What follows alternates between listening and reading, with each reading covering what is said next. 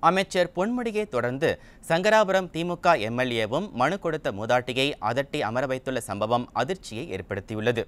கள்ளக்குறிச்சி மாவட்டம் சின்னசேலம் அருகே உள்ள விபி அகரம் கிராமத்தில் நடைபெற்ற நிகழ்ச்சி ஒன்றில் சங்கராபுரம் திமுக எம்எல்ஏ உதயசூரியன் பேசிக் கொண்டிருந்தார். அப்போது மூதாட்டி ஒருவர் தனது கோரிக்கைகள் அடங்கிய மனுவை அவரிடம் கொடுக்க எழுந்து சென்றபோது திடீரென கோபமடைந்த திமுக எம்எல்ஏ போய் உட்காருமா என அதட்டி அமர வைத்துள்ளார். விடியா ஆட்சியில் அமைச்சர் பொன்முடியை தொடர்ந்து சங்கராபுரம் எம்எல்ஏவும் மூதாட்டியை அதட்டி பேசும் வீடியோ தற்போது வெளியாகி சர்ச்சையை ஏற்படுத்தியுள்ளது.